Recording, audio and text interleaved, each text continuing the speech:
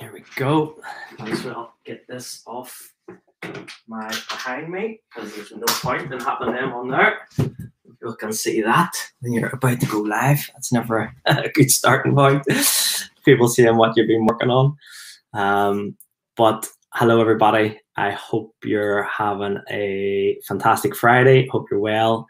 I am just about to start our little uh, live, going live, Ask Macca Anything. Today's, I suppose, topic, today's conversation will be around sports psychology and probably everything to do with mindset and elite performance in the in the sporting world. So if you do have any questions or any comments, please do drop me a message on whether it's Twitter, just Paul McVeigh 77 or obviously I'm going live on Instagram.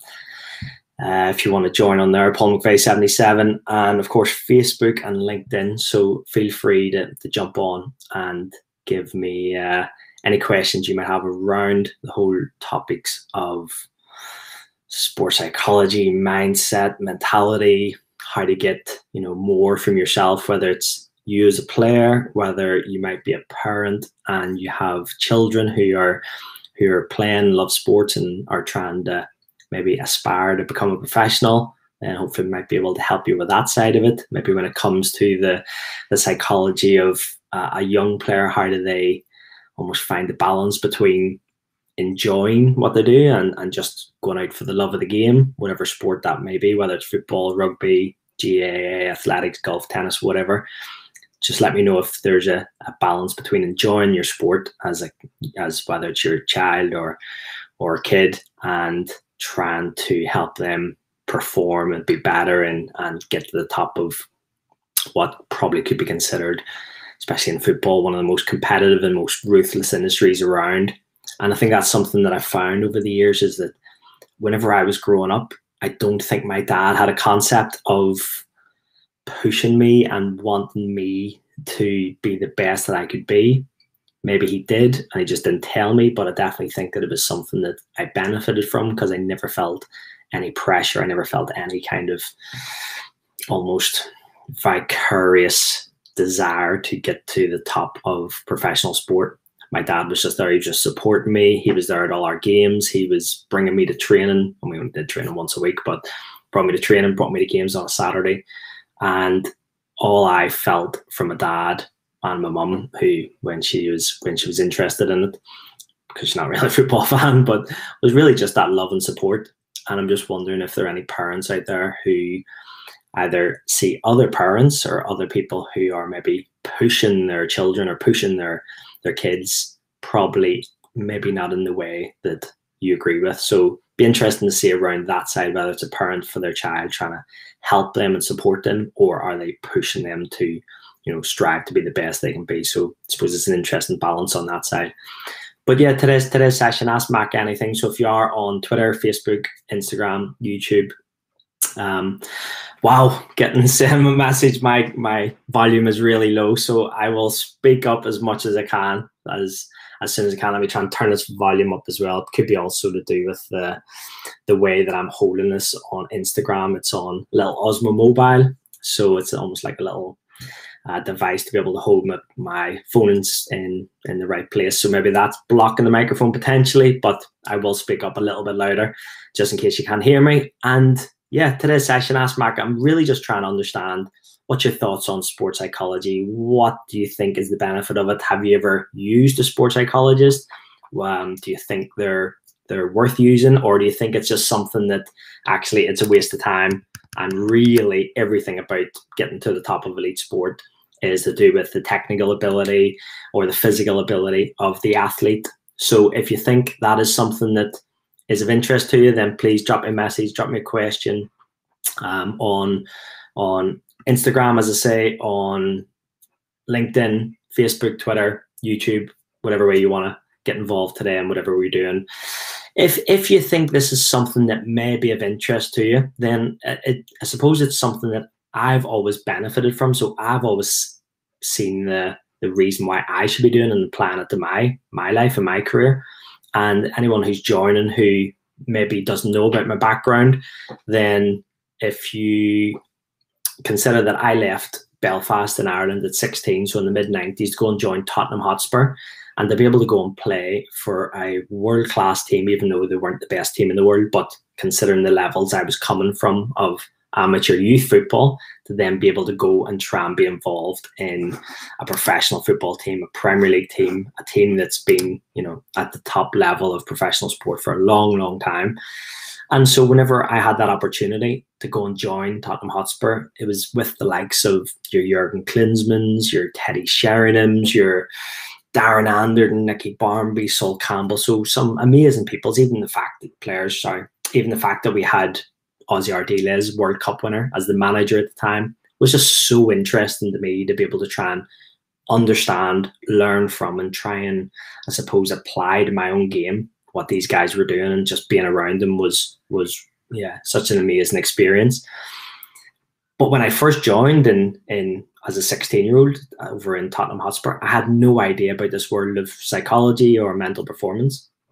And so whenever I actually read a book, so if we have any of our American friends or any American colleagues who are who are joining us today, I know it's early in the morning for you, but if you are joining us, you might have heard of a guy called Tony Robbins, Anthony Robbins, and I remember reading a book by Tony Robbins when I was about 17 and it completely changed my life because it ended up it started talking about the things that I had no idea about.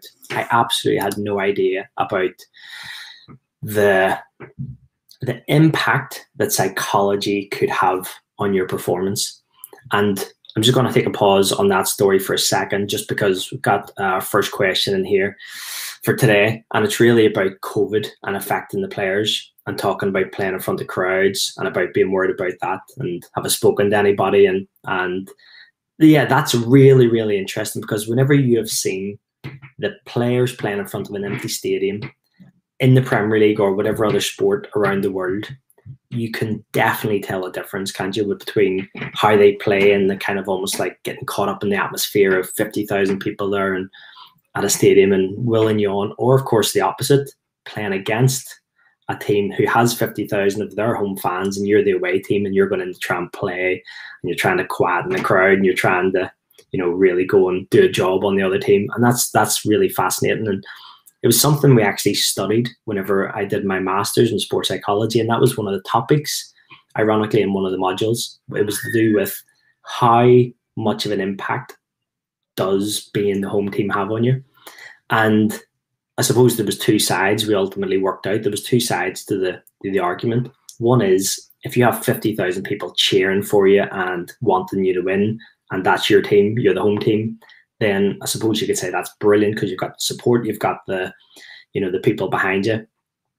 But of course, that comes with the pressure of then having to perform in front of fifty thousand people, and you going out there needing to be, you know, on top of your game, doing well. The team expect to win bit like the analogy of you know in the Colosseum with the gladiators going out and essentially they have to decide whether there's kind of yes, are you doing what we want you to do, or very often there was a whole lot of thumbs down. And let's say thumbs down was a, a polite way of doing it because the amount of times we would lose a game at home and we would see players physically and verbally getting abused coming off the pitch, which you think these are your home fans, this is your home team, and yet they're verbally abusing our players walking off the pitch, which was really interesting and really sad as well because you kind of think if you're a fan, you're supporting your team, but of course, every fan has their opinion.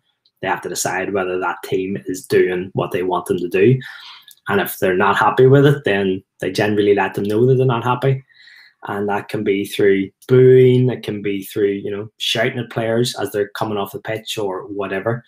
So there's actually two sides of the coin, I think, of being in the home team. You have that great support when you're winning, and if you score a goal and you're celebrating in front of you know fifty thousand people, it's an amazing feeling. But actually, if you're not performing and you're expected to perform, you're expected to win, then the pressure can build up and struggle with that. But I suppose that goes into the question, which is what happens when there are no fans? Well, that entire dynamic of having fans in the stadium, home fans or away fans, completely dissipates and you're then just 11 players against 11 players and effectively there is no support it's just whether the team's playing or not so definitely saw a huge difference i don't think the players were worrying about the fact that they didn't have supporters there. I think the players were actually thinking that what would normally have given them that extra edge of that motivation or that it's almost interesting when you when you play at the professional level. We've all played in games and there's been low crowds there and it's like there's no motivation, there's no real I suppose that that extra little one or two percent to go the the above and beyond. But when you do have suddenly 10, 20, 50,000, whatever it is, the most I ever played in front of a couple of times was 75,000 people, 75,000 fans, and there were two amazing, amazing games to play in. One was when we got to the uh, playoff final in 2002, Norwich City against Birmingham, and it was at the Millennium Stadium in Cardiff because Wembley was getting developed at the time. And we ended up getting to a penalty shootout so after 90 minutes, extra time, and then a penalty shootout in front of 75,000 fans was, as you can imagine, absolutely nail biting. And unfortunately for us, we ended up we lost to Birmingham, and they get into the Premier League, and, and we didn't that year. We didn't for another couple of years.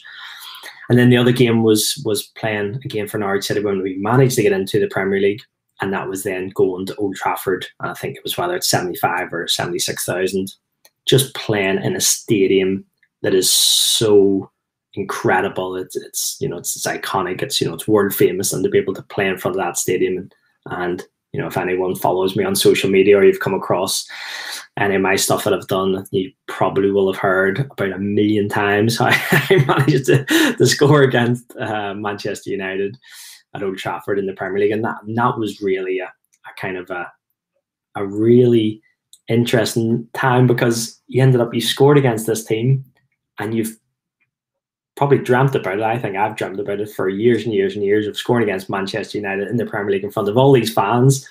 And yet we were 2 0 down. it only brought us back to 2 1. It was towards the end of the game. We kind of didn't really deserve anything out of the game. And we end up, we lost the game, but I'm still celebrating because we scored in front of the 75,000 fans. And it's it's against Cristiano Ronaldo and Paul Scholes and Roy Keane and all these absolutely amazing players.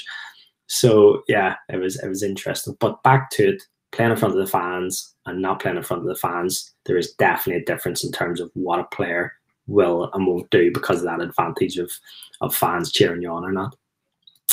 So anyway, the whole point why we're doing this, and and anyone who's joining us, appreciate you joining us. If you do have any questions, do let me know, and I will try and keep on top because it's hard whenever you've got LinkedIn, Twitter, Facebook, YouTube, Instagram all going. But if you do have any questions, give me a give me a shout and let me know. But essentially, we're talking about sports psychology today.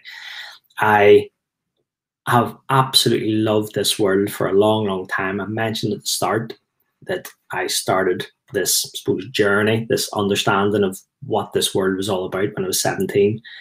And by reading a book completely changed my life and put me on a different path instead of going down the route I thought I was going to go down and suddenly going down the route of of this, I suppose, desire to learn, this willingness to be open minded and wanting to improve what I do. And so as I started applying more and more of these things to my life, I think it really helped me in my career. And you know, if anyone's seen me, I'm I'm clearly not the biggest guy in the world. You know, I'm only five foot six, so that is uh, not exact, exactly uh, a colossus on the football pitch. And you know, especially when we had the likes of Crouchy in our team, you know, Crouchy six feet seven, and me four foot nothing shorter. So it was just, yeah, it was such a difference. But then because physically you can't really do a lot to to change, you know, what you have to offer.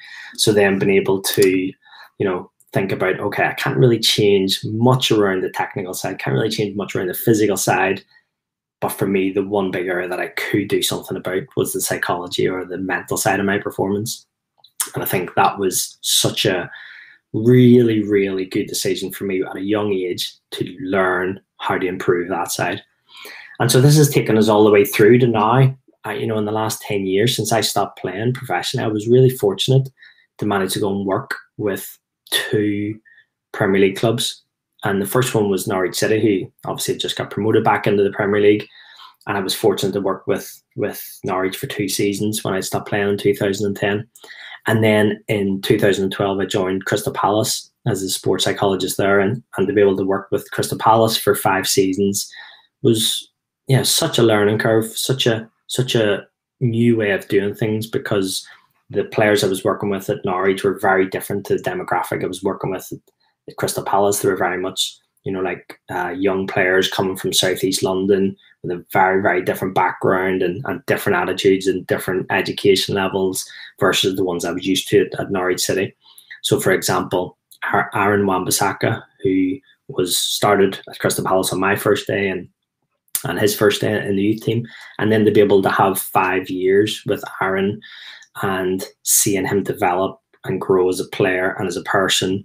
And then, of course, now he's gone off to Manchester United for 50 million pounds, and of course, you know, one of the best right backs in the league. I think some people would even say he's, he's the best one-on-one right back in the Premier League, which is just such a, an amazing uh, progression from Aaron but just understanding how to work with the different players and learn from them so that I can take my knowledge and my experience and then share it in a way that's going to help them improve their performance.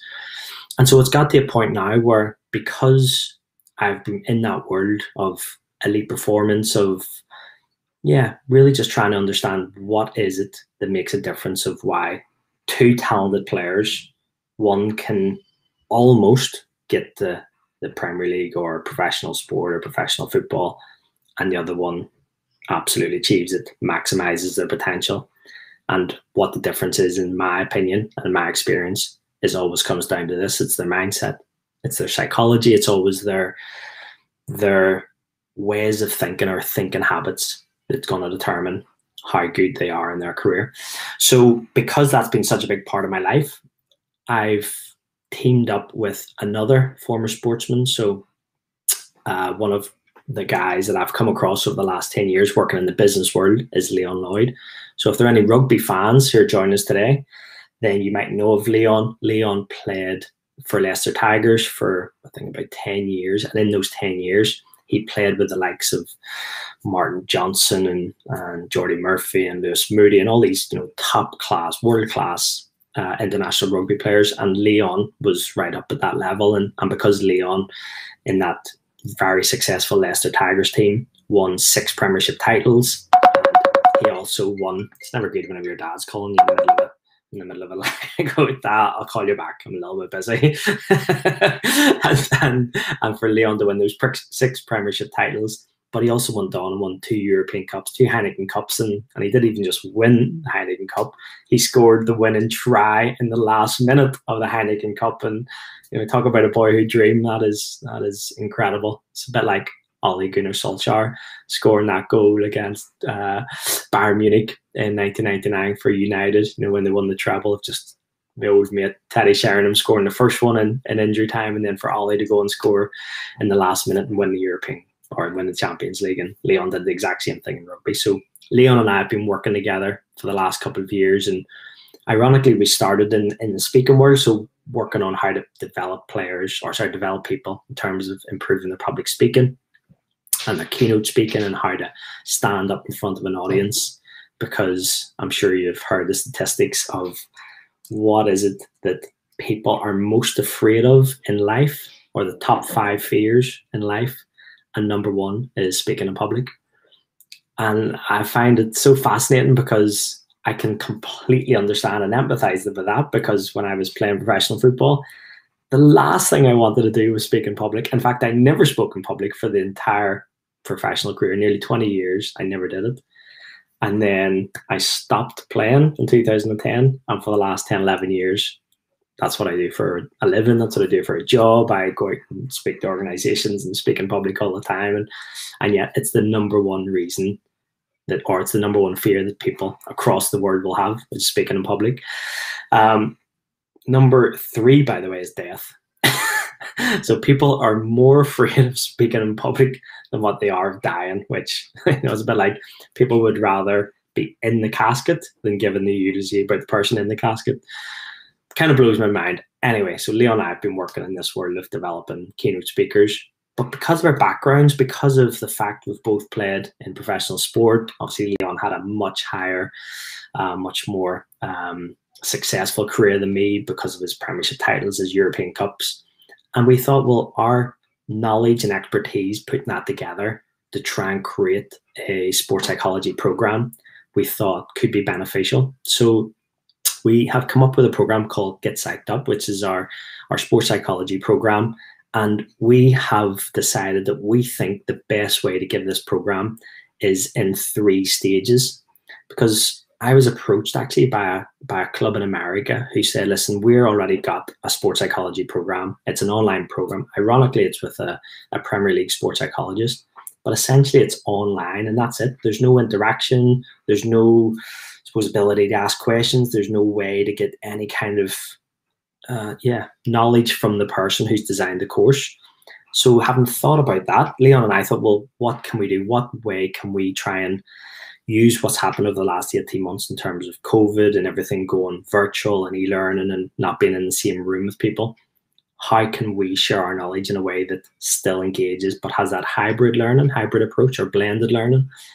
And so we decided that actually the first way that we need to engage with players or athletes is by doing a masterclass and delivering a masterclass because in my experience, most people don't do anything near enough around their mental performance or their psychology. So I think the first stage of that masterclass is actually just me saying, listen, guys or girls, this is what I would recommend. And the reason why I'm recommending is because of X, Y, and Z, and you take them through the different things of why it's so important. But once they understand why it's important, that's the first stage because it's about engagement. If people haven't engaged in the subject, if people don't even understand why they should be working on their psychology, then they're not going to do anything about it. And funny enough, if you were here at the start of the session, I had a little whiteboard on my fireplace over there just because I was doing a, a quick session with the team yesterday in Tennessee. Actually, give them a shout out. So our, our first ever inaugural masterclass for Get Psyched Up program was with Tennessee Wesleyan over there. So Luke Winter, thanks very much for for bringing us in.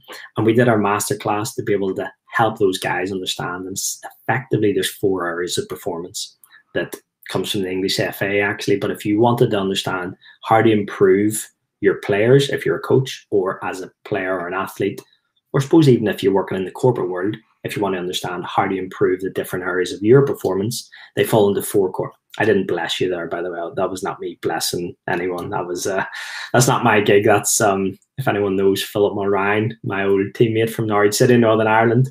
And I don't know why I've look like I'm praying now at this stage because he's also a priest. So I'm gonna put my hands down here, put him up here. But essentially, he is gone from playing for Manchester United with the likes of David Beckham, Paul Scholes, Ryan Giggs, Roy Keane, all those guys. So my friend Philip Mulrine from Belfast actually used to play for my team here. It's another Plunkett with us in Belfast at 16. And then he went off and joined Manchester United. And he was there at the start of that treble winning season in 99 that I mentioned earlier. And because he was part of that squad, in other words, the first game of the season they played, I think it was against Birmingham, and he scored a hat trick. And then a week later, he was sold to Norwich City. And then, of course, that Manchester United team went on and won the treble that year.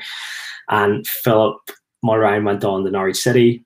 I'd gone to Spurs in 94 in 2000 whenever Phil joined Norwich City. I then joined Norwich City. So our lives have kind of just constantly overlapped with each other in what we're doing. And then Phil went on, had a eight, seven, eight years in Norwich City, similar to myself. And then he finished his career. I finished my career and went down the, the route of public speaking and, and sports psychology. And Philip Mulrine became a priest. so when I said about those four corners, I wasn't blessing you and I wasn't saying that's actually Phil's job. If anybody needs uh, blessing, you should definitely contact them. But if it's more to do with the four corners of performance and those four corners of what you would divide the page into is top left is the technical aspect of being able to do either your role in a corporate job or playing on the field. So your technical ability to do what you need to do. Then it's your physical ability. And of course, from my background of sport, the physical attributes are so, so important. In the corporate world, they've probably been less important over the years. But I would say even now, there's more of a an awareness that the physical ability and your physical health has a huge impact on your ability to do your job, even in the corporate world.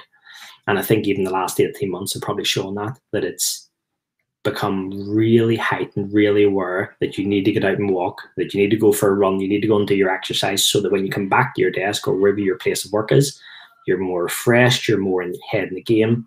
So the physical side is still really important. Then, of course, the top right is the psychological. How important is the psychology of your performance?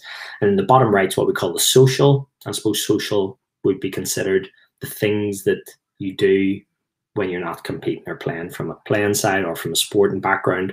But of course, the social side could be when you're not in your job.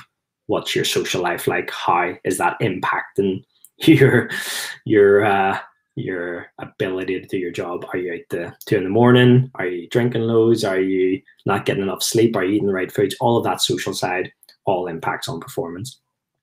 But I think for me, it was always down to the psychology that is the biggest impactor of performance. And so that's why Leon and I decided to create our Get Psyched Up program. So helping people understand that this engagement, this masterclass in stage one is a way for us to be able to deliver that buy-in from the players and the athletes, get them on board so that then you can take them stage two, which is our e-learning program, our Get Psyched Up program. Let's give them the ability to learn what we know.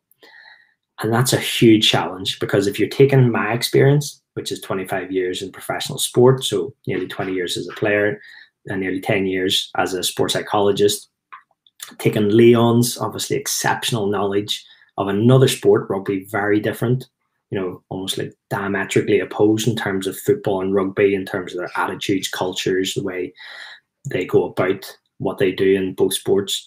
But taking all Leon's knowledge of, you know, winning Heineken Cups and European Cups, and then combining all of our knowledge together, nearly 40, 50 years of, of elite sport and elite performance, and then giving a framework to be able to share that with our with our players that we're working with now we're really happy that we had the framework of of Psyched, which the reason why we went with Psyched is more because it's to do with your performance, the statistics, and just understanding, you know, higher statistics actually apply to your game and what you do, because most people are very subjective in their understanding of, of how well they've done. For instance, even if you've you've played in a game recently, first few questions when you come back in through the door is, you know, did you win? What was the score? Um, did you score? And how did you play? Generally, the three questions. So again, you can hit them with, oh yeah, we won. No, it didn't score. How'd you play? And of course, how did you play? Then becomes three general answers of played well, I was okay, or had a stinker.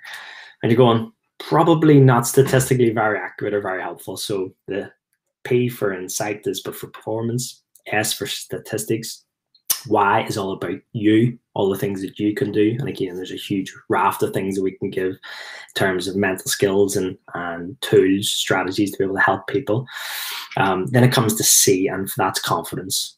And it's so fascinating because for nearly 10 years working as a sports psychologist, the number one thing that players, Premier League players or coaches would come in and see me about is their confidence.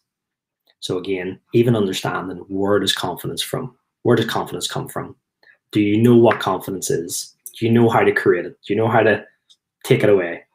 Do you know what impacts it? And all of these things are all what most players, in my experience, have no idea about because they've never studied it, they've never read about it, they've never worked with sports psychologists. So giving them some help, that would be a really, really good starting point. Then to do with um, H is around habits. And again, what habits are you doing on a daily basis so that you understand that they are going to build up and build up and increasingly going to impact your performance? Ease about your emotions. How is your emotional self management, whether you're on a football pitch, soccer pitch, rugby field, in the office, going into a boardroom, going in for an interview, about to do your driving test, how are you managing yourself emotionally? And then the last one, D, is about developing relationships. And of course, we know that we can't do this by ourselves. Um, that's a really, really good one to work on is how do we develop those relationships because we need those relationships to um, improve what we do. So just got another question coming in. It's going to be the last question because I'm just about to finish for this half hour for this week's Ask Macca. So have you dealt with difficult managers in your past, both sports but more in business? And I've got to say that that is a really good question because a lot of the times it comes down to ego. And the ego is generally something that gets in the way of whenever you have, I suppose, someone who thinks they're at a certain level. And because they're at a certain level, they might have a little bit of power. They might have a little bit of influence over whether you come in and work with them, what the team does, except the culture within the organization. And I think that is a really, really tough thing to talk about in terms of how do you manage those egos. But I think one of the first things to do is to try and help that person understand that we're all at whatever level we're performing at, but that we have room for improvement. And generally, those difficult managers are generally people who have less awareness that they need to improve and more of the ego of what can I do for me. So, really good question. I actually do need to shoot because I've got another meeting to jump on to here and another call to go on. But I really appreciate everybody jumping on. I think maybe on possibly on Instagram, I might have had some people struggling to hear me. So I'll maybe work that out for next week. Hopefully, if you're on YouTube, uh, Facebook, Twitter, or LinkedIn, hopefully you've heard everything well. Hope you enjoyed that. Hope you're interested in potentially what we're about to do in terms of our sports psychology program. If you have got anyone who may be interested, then please drop me a message, get in touch. Obviously, all my social medias. Uh, platforms and and connections are all at Paul McVeigh 77 or if you want to drop me an email, it's just paulmcveigh at me.com, or probably the best thing to do might be just go on my website, which is paulmcveigh.co.uk, and you can get in touch with me there. You can also download download my book if you'd like to. Um, it's called The Super Footballer is Dead. It is on my website, so please feel free to go and get a free copy of it there. Okay, everyone, I hope you have a great week, and I will catch you again soon.